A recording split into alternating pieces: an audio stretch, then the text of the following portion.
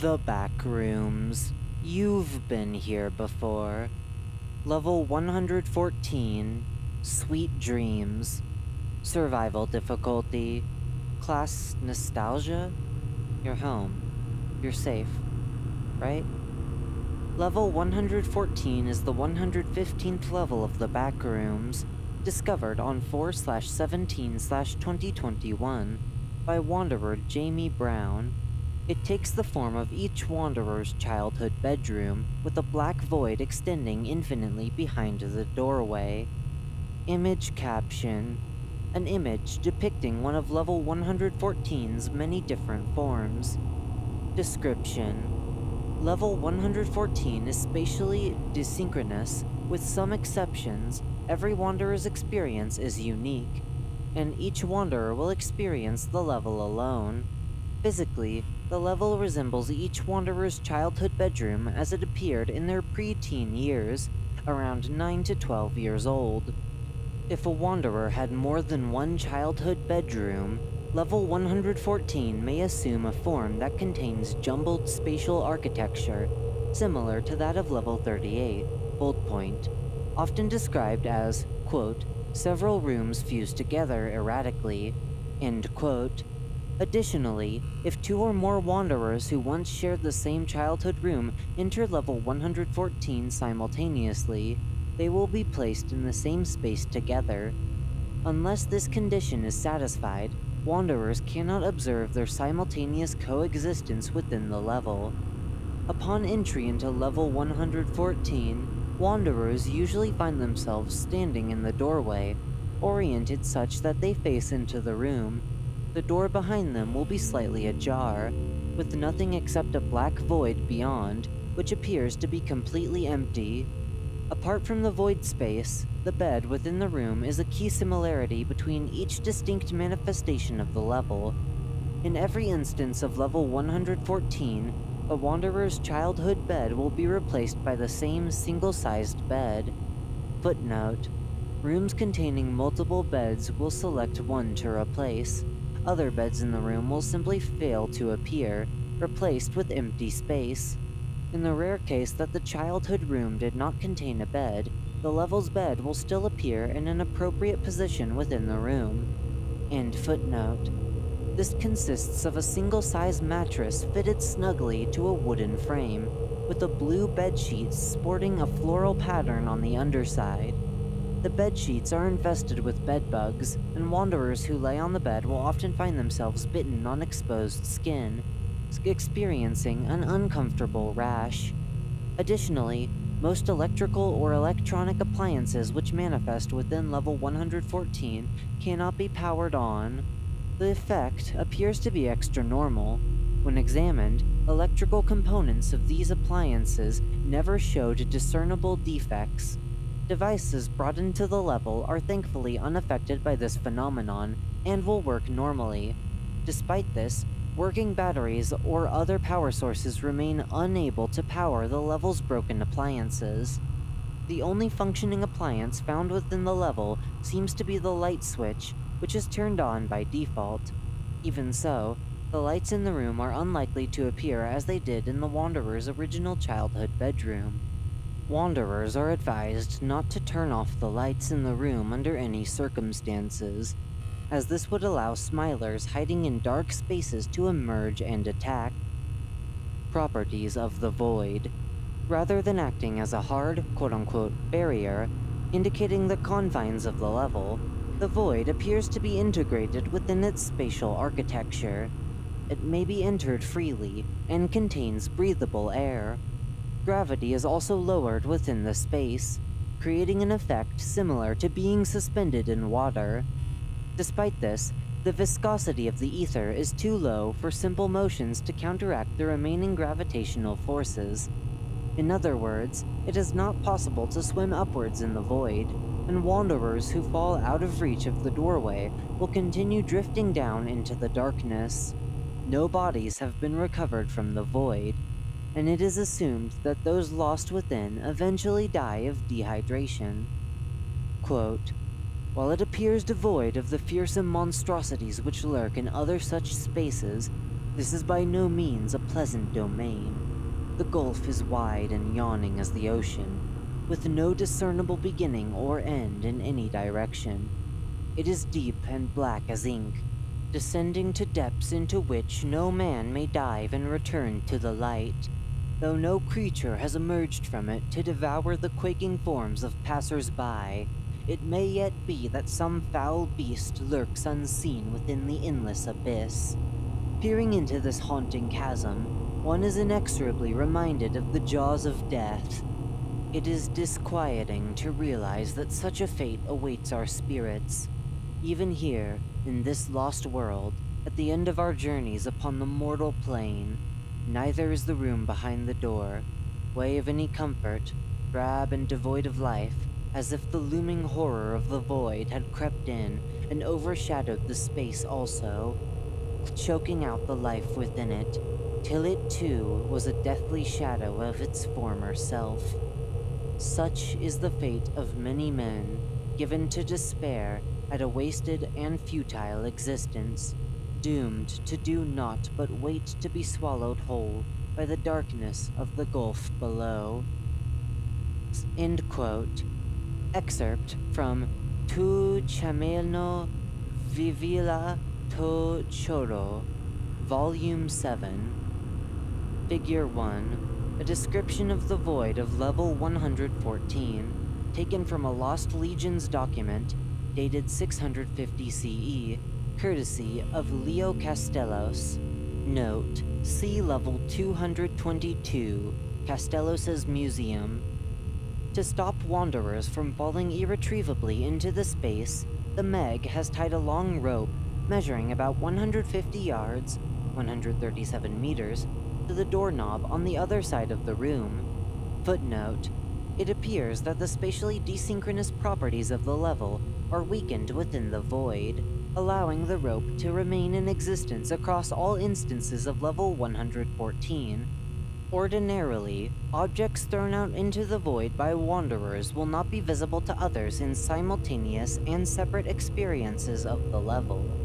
However, the liminal architecture appears to have accepted the rope as a quote-unquote permanent fixture after it had been attached for a period of several hours.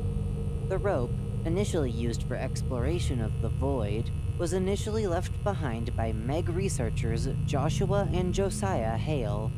It was expected to spontaneously demanifest along with the level's form once testing had concluded, and they had left the level. However, the brothers returned a week later for further research, only to find the rope intact. End footnote. Wanderers who inadvertently fall in may quote unquote swim towards the rope and use it to climb back up into the adjoining room. Entities Stress Mold. It was only recently discovered that level 114 plays host to a unique form of mold, which grows in small patches on the walls and ceiling of the room. The mold appears to have anxiety inducing properties analysis has revealed that the fungal growths contain a presently unidentified biological protein responsible for the mold's intense, quote unquote, soggy dirt scent. The compound has been found to stimulate parts of the human brain which manage stress response, increasing levels of adrenaline and eliciting anxiety. The patches of stress mold will grow rapidly over the duration of one's stay in the room causing one's stress levels to heighten gradually over time. It has been found that levels of mold in the room exceed safety limits after approximately 8 hours, becoming hazardous to human respiratory and neurological health. Wanderers are thus advised not to linger within level 114 for extended periods. Smilers. The underside of the bed hosts an infestation of smilers, and more may be hiding in dark areas, such as the inside of a cupboard or drawer. They will remain harmlessly within their dark spaces while the lights are on, but turning off the lights in the room will allow them to emerge. Windows. The windows in the room are occasionally replaced by their malevolent liminal counterparts. Note, see Entity 2. Footnote, regular non entity windows which manifest will otherwise open up into the void. End footnote. Wanderers who recall having windows in their childhood bedrooms should be wary. If a wanderer's childhood room had no windows, they should have nothing to worry about. Entrances and exits. Entrances. Traveling far beyond the limits of level 29, Hyperion, supposedly leads to entry into level 114. Entering any of the doors labeled with an exit sign in level 109, Neon Hospital's, corridors leads to level 114. Exits. Fall asleep in this room, and you'll awaken on a street on level 9, the suburbs, saying, I'm so bored, in a dull voice leads you to level 25, the quarter hub. Interview log. The Meg conducted the following interview with Janine Brown, as the first Wanderer documented to have entered and exited level 114 successfully. She is credited with its official discovery. Show interview log. Interview log 10328. Begin log. Date 5 26 2021. Time 1642. Interviewer Meg Archivist Lake Kessler. Interviewee Janine Brown. Lake. We'll get right to business then? Janine. Janine fidgets. Sure. Lake. Great. Thank you. Could you please tell us what you saw? Janine. I I was in my bedroom, room I had when I was a kid. Lake. Okay. Could you describe what your room looked like? Janine.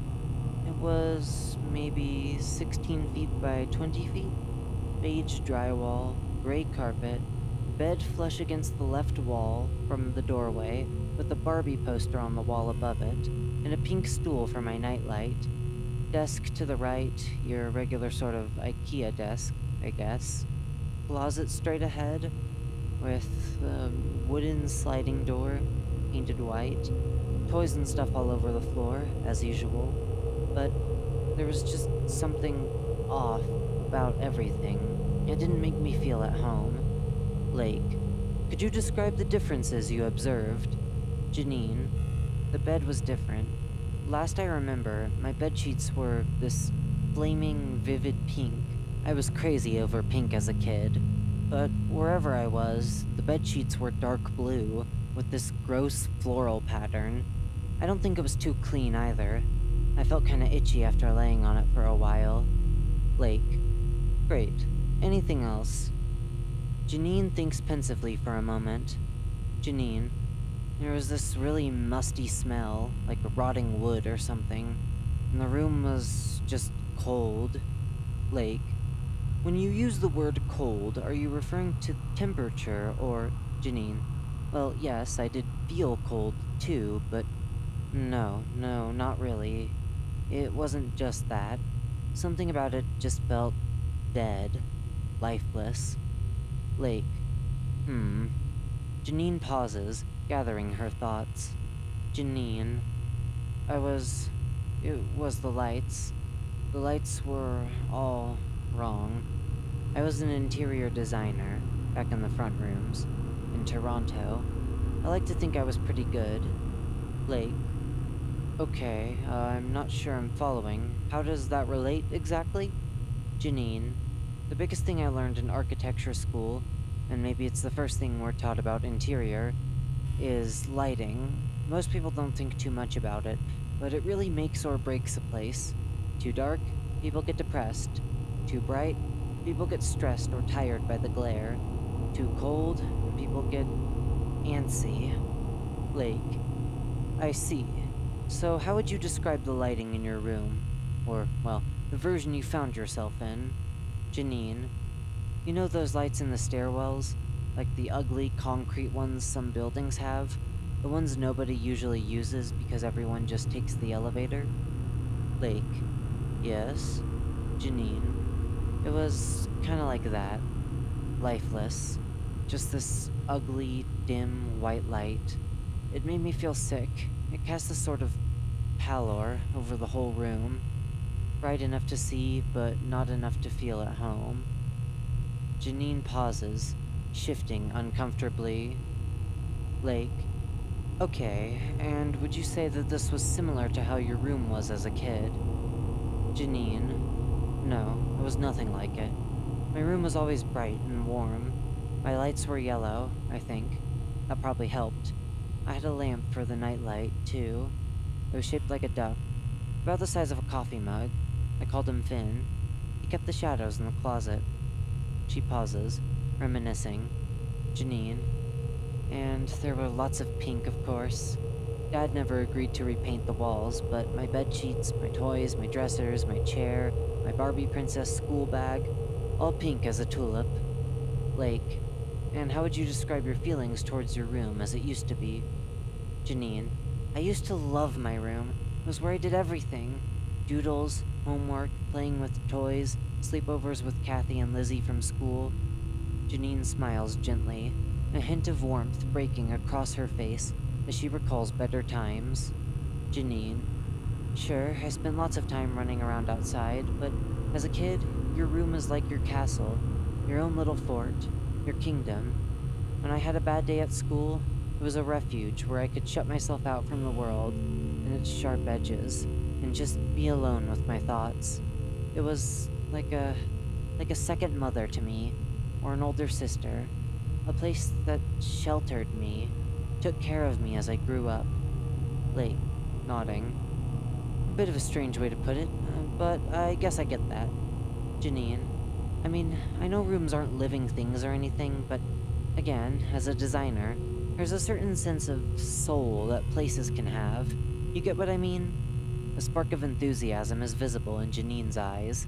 Lake nods. It's always with places that have people, though. It's it's like there's a patch in the grass from where people walk over it. Or when you hang your jacket on the doorknob after you get home. Or or when you leave an ink mark on the desk. Or or when your chair gets squeaky after you've sat on it for a couple of years. She just gesticulates with some excitement. Janine, a bit of who we are is always left in the places we go. Sure, the place is no longer pristine or perfect, but that's precisely what, what gives it some character. It's like the room starts to become a part of us. It gives places a bit of life. You know?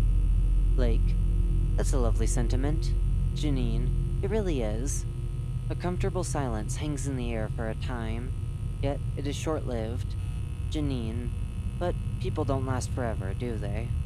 The light fades quickly from Janine's eyes. Lake. I... I suppose not. What's that got to do with anything? Janine. People change. And so do their places. There is a hint of sadness in her voice now. Lake. Hmm. Janine. I moved out of my parents' house eventually. Went to college, found a job, got a house in the city, met a guy, got engaged. Janine pauses for an inordinately long time. The shadow across her countenance seems to deepen. Her eyes appear hollow, and she stares blankly into the distance as she speaks again. Janine. Got cheated on, started drinking, wrecked my car, lost my job, struggled a couple of years before I found myself stuck in here. Her tone carries a sharp note of bitterness. Janine. Little girl I used to be. Pretty pink dresses and stuffed giraffes and fairy tales. Hopes and dreams. The life marriage, and a career ahead of her. She's just not here. Not anymore. For the briefest of moments, a spark of fierce anger flickers in her eyes, but just as quickly, it dies out, and the haunted, dead expression returns to her face. Janine. So, that's what my room felt like, I think. Dead. Like the person I used to be. No more laughter. No more sleepovers no more pink, like the shell of a cocoon left behind after the butterflies moved on. Lake. So, past its time? Janine. Exactly. She grimaces. Janine. You know, you always start off thinking you'll become a butterfly. Now, I'm not so sure. There is a pause. Janine shifts, cupping her face in her hand pensively as her eyes continue to gaze into the distance. Janine, maybe I'm just the cocoon. Maybe my dreams have just blown away and left me behind. Silence falls once again. This time, it is tinged with melancholy. Lake, I'm sorry to hear that. Janine, it's okay. It's not your fault. A wry smile returns to Janine's face. The atmosphere of the room lightens considerably as Lake begins to wrap up the interview. Lake, it might interest you to know that we've definitely heard some similar things from our operatives in the field, but you're the first case we've officially documented. Janine, with a hint mock of smugness, guess you guys owe me a prize then. Lake, anything else out of place you noticed about the room? Janine, I tried to open the door, black void outside. I've heard enough about level 6, lights out, to know not to risk it. I threw a pen from my desk into it. It just floated downwards like it was sinking in water. Lake, glad you were smart about it. Most wanderers don't have two brain cells in between them. Janine, heh. Lake, but if the doorway wasn't usable, how did you leave then? Janine, I hung out in the room for a while. Thought maybe it was an escape room sort of shtick. Searched around for anything, but nothing was working. After a couple of hours, I was getting really antsy. The lights just were not helping. In the end, I was gonna try the Mountain King route, but as I was sitting on the bed and reading the instructions on my phone, I just kinda dozed off. I guess I woke up and found myself in level 9. Lake. Well, I think that's all the information we need. It's been lovely meeting you, Janine. Janine, it's been a pleasure. A relief, actually, to talk about it. Feels like I'm leaving the discomfort of the experience behind. Lake, I'm glad you feel that way. End log. Result. The findings were consistent with word-of-mouth reports told to operatives in the field, as well as later interviews with other Wanderers. A MEG team was deployed to find the entrance to level 114 for further research and documentation.